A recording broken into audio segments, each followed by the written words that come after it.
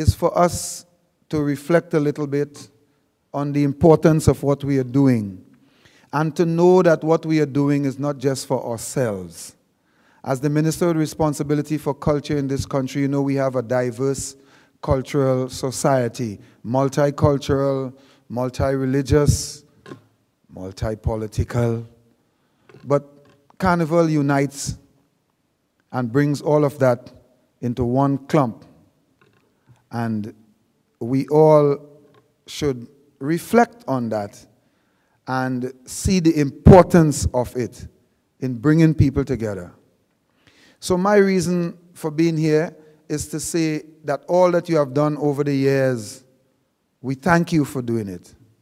The ones that have gone before us, we thank them more than everything else because they are the ones who have laid the groundwork and the blueprint they have left behind that we can follow and expand. But within all the, the, the, the fun and, and, and laughter, and you know, there's a seriousness because at the end of the day, I heard somebody, the, the, the president of Pan Trinbago spoke about the billion dollar revenue. Of course, Carnival is a billion dollar business. But like every other business, when you make money from your business, you don't just take that money and spend it back on the business. You, make, you use the business to make money so that you can do other things. You have to send your children to college. You have to pay for their hospital bills. You have to pay for their insurance. You have to subsidize a lot of things that the, children's, that the children would have to do. And this that we are in is no different. While Carnival might bring money into the country, think about all the other things that we have to do with that money that is being brought in.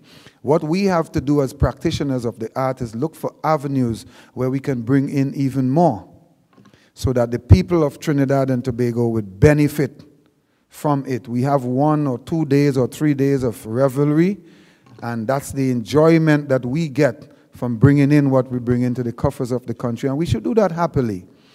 And one other thing that we must remember